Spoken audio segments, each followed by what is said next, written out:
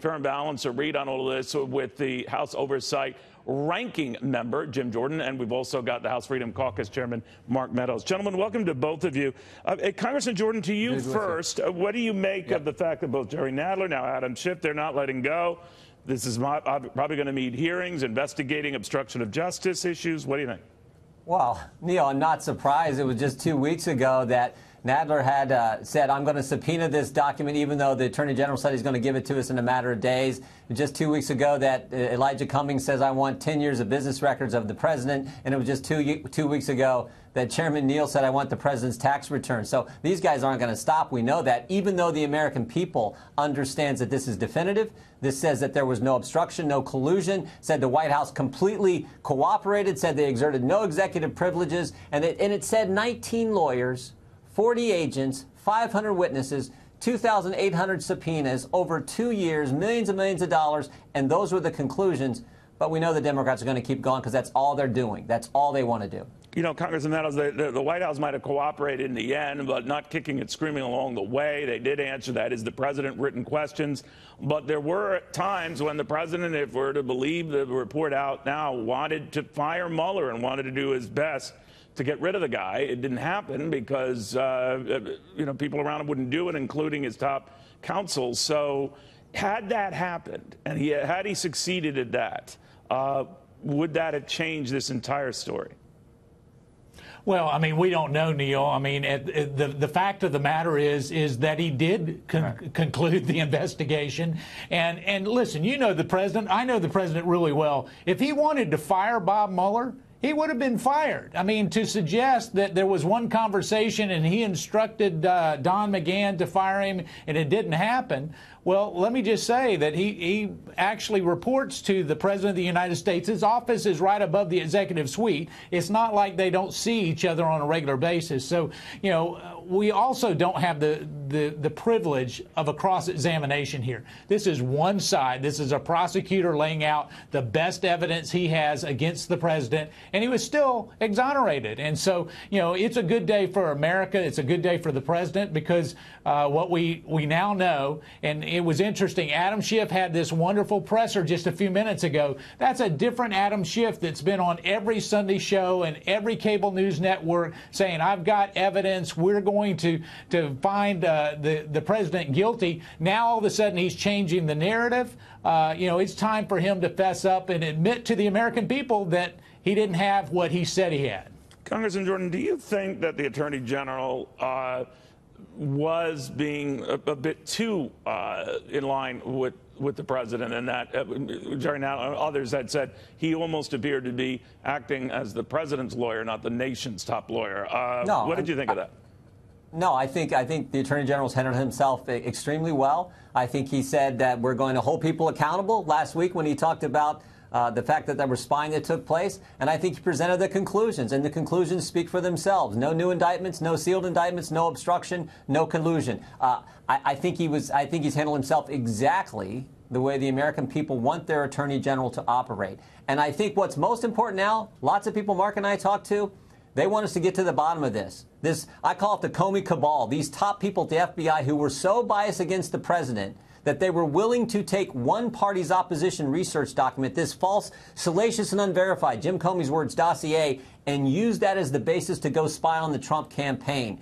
That, that's what they did. And then when James Comey gets fired, he, he decides that he's going to push this even further. And he says, I'm going to leak memos that I wrote to the New York Times to create, manufacture this need for a special counsel. And at the time he was fired, because we deposed him, he told us at that time, after a year of this doing this, they still had no evidence of any type of collusion or obstruction, but he was willing to leak information to create the need for a special counsel. That's what needs to be looked at, and that's what I think Bill Barr is going to do. All right, so I, guess we all ask what, what happens now. And Congressman Meadows, I mean, obviously, listening to the folks like Schiff and Nadler, hearings are going to ensue. They want to talk to Barr. They want to talk to Mueller. I know you guys have both uh, been wanting to get to the bottom of, of an, an, investigation on this investigation, what started it. But when Americans are polled on this subject, close to half of them are saying, enough already. We're, pack it up. What do you I think? Agree. Yeah. That includes Well, your think enough- investigation, looking into your Well, investigation. I, I, I think everybody says enough already, mainly because we've spent so much time on something that proved to be false. And so uh, I agree with the American people. Now, what most Americans want is to make sure that this doesn't ever happen again. Uh, and, and I wish we would see with Chairman Nadler and Chairman Schiff the same uh, tenaciousness uh, in terms of getting to the bottom of it. Because I can tell you, Jim and I were in, in the investigations as we looked at some of the improper uh, protocol that was, was breached, I believe, with the D- uh, DOJ and FBI. And yet, Many of them didn't even read the, the very documents, didn't show up for the interviews, and here they are trying to say that they're all about the rule of law and justice. We've But they're got to not make giving sure. up, right? They're not giving up, gentlemen. And, and, and Well, no, Congressman not. Jordan, the reason why I mentioned it, because in the, the, the Mueller report itself, quoting here, if we had a confidence uh, that the president clearly did not commit obstruction, we would so state that. Now, obviously, go on to say they did not. We were not able to say that no criminal conduct occurred. Now, obviously, he didn't take action, nor did anyone around him take action Right, on that. But it was almost like they punted it to Congress to say, if, whether you find that a high crime or a misdemeanor, that's on your watch. What do you think? No, but but you're right. This special counsel, Bob Mueller, the guy the entire town, all of Washington said is the greatest investigator in history, the greatest lawyer in history. This will be the definitive end all thing, and he chose not to indict. That is the bottom line. And you're right. Most Americans want to move on, but most Americans also are tired of this double standard. This idea that there's one set of rules for us regular people, but a different set if your name is Comey, Clinton, Lerner, Lynch, McCabe, Strzok, Page, and they are tired of that, and they don't want this kind of thing to happen again, where a two-year investigation is built on a false premise, a false premise, and we know it was false. They don't want that to happen again, and that's why I'm so encouraged by what the Inspector General is going to give us in six or eight weeks, and more importantly, what Bill Barr is going to do when he said he's going to look into this spying that took place where one party's opposition research document was used to go spy on the other party's campaign. Do you have any sense, and I'll, I'll maybe raise this with you, uh, Congressman Meadows, this idea that people are looking at this and saying, all right, um, and even Schiff seemed to indicate this, that there might be no, no laws broken here, but it, it's unsavory, doesn't look good. It, it, you know, uh, the, the, president, you know, uh, going after his aides to go after people and all, no illegalities per se, but it doesn't look good. Now, obviously, to your point, gentlemen, I, I understand that that doesn't mean you impeach the guy or you punish the guy, but, but that there, there are residual effects of this. Do you worry about that? Well, uh, of course, everybody worries about that. I worried about it when Hillary Clinton wiped a hard drive and got rid of 30,000 emails. And if you want to use Adam Schiff's standard, then Adam Schiff would be guilty when he met with Glenn Simpson of Fusion GPS that started this entire thing uh, in Colorado. He would have been guilty of, of coordinating with with uh, someone who actually has put false uh, testimony before uh, the FBI. And so, so when we look at this, we need to understand that the rule of law is exactly that.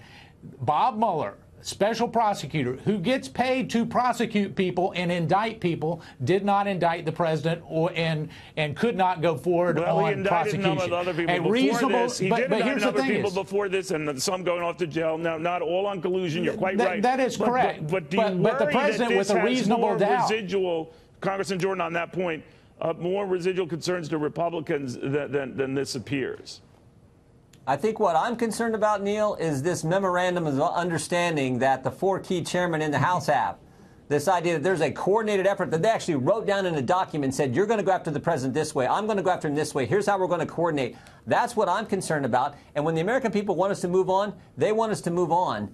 But we just found out this past week that the Democrat chairman, Chairman Cummings, Chairman Schiff, Chairman Waters, Chairman Nadler, have these memorandums of understanding on how they're going to continue to attack the president uh, on so many different fronts. And that is just wrong, and I think the Americans are tired of it. Do you think, Congressman Meadow, that uh, Bob Mueller did a good job in this report? Well, I think obviously he did a thorough job. You can't spend $30 million in two years and actually have uh, 40 FBI agents and, and, 19 attorneys working on it. Uh, I will say that the way the report reads, it looks like Andrew Weissmann did most of the report, and uh, and and he was biased coming into this. And so so when you when you look at the conclusions, I think it was wrong to say, well, we can't prove that he did. Uh, was not guilty. All we can say is we're not going to bring charges. That's really not up to him to do. He, he, he has the burden of proof. The burden of proof is on the prosecutor, and yet we see that he didn't have enough uh, proof to bring charges. Neil, how could it not be thorough? You had 19 lawyers spend two years, millions of dollars. Most of those lawyers were Democrats out to get the president. How could it not be thorough? And what were their conclusions? No collusion. All right. Um, the one other side note here is I think we've hopefully put to, to rest, and who, knows, uh, that the, the, president was duly elected, the, the, the president of the United States.